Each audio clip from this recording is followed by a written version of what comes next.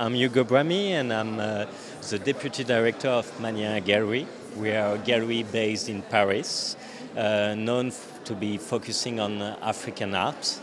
The gallery was founded by André Magnin, that was a former, um, the former curator and the director of Jean Pigozzi collection for 25 years. So he knows really well Africa and he worked with several artists for 25 years and founded Magnin-A Gallery in 2009 uh, with the artist he met during his, tra his travel in Africa. And it's a solo booth presentation. Please uh, tell me a little bit about it.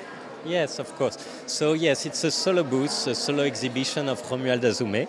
Romuald Hazoumè is one of our most important artists. He's a Beninese artist that started his career in, uh, in the 90s. He's really known for his mask that he, we are presented in, in our, at our booth. I noticed that the masks are made with uh, some plastic bottles. What is it all about? Yeah, it's, uh, it's uh, mainly made, the base of the mask are gasoline cans. They are gasoline cans that was used by people in uh, Benin to to traffic gas from Nigeria, and he used these gasoline cans to do to do mask with uh, some. He, he had some feathers or some pearls or some like tennis ball fish nets to make some characters. So each mask has his own characters, his own uh, title. Sometimes it's humoristic, sometimes it's politics, and he he has like um, how can I tell that a pantheon of men and women that he like to represent. And I think the artist is present at the booth. What's the inspiration behind the sculpture? Did you see the Olympic game in Paris? Yes, I did. Yes, because before the Olympic game, they just have a, a small polemic um, with um, um, a French singer. Her name is um, is uh, Aya Nakamura, and they say because she's black, they say why they chose uh, a black to sing for Olympic game to represent it French uh, French um, uh, in in the Olympics game, you know, as um, as a singer, you know. And for me, it was so stupid, and because that's racism, you know. And that racism is so it's so small, it's so it's so shame, you know.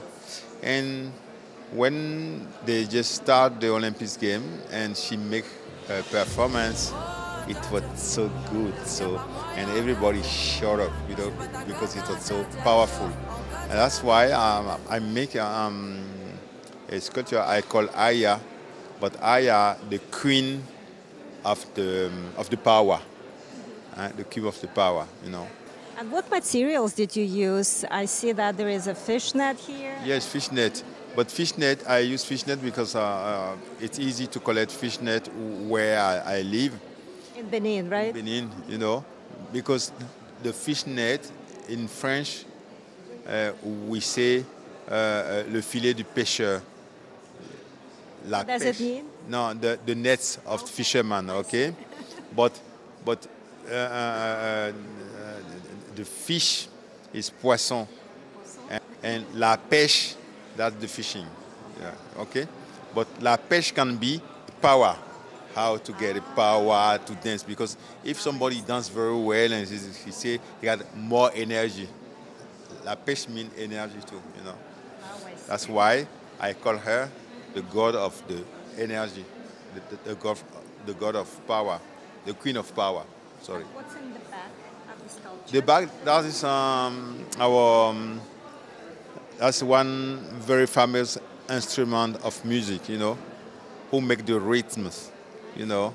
We call that gong. He make the rhythm very important. Very powerful. Yes, very together. powerful. all together. All together. Very powerful. Thank you so much. Very nice Thank to you. meet you. Thank you.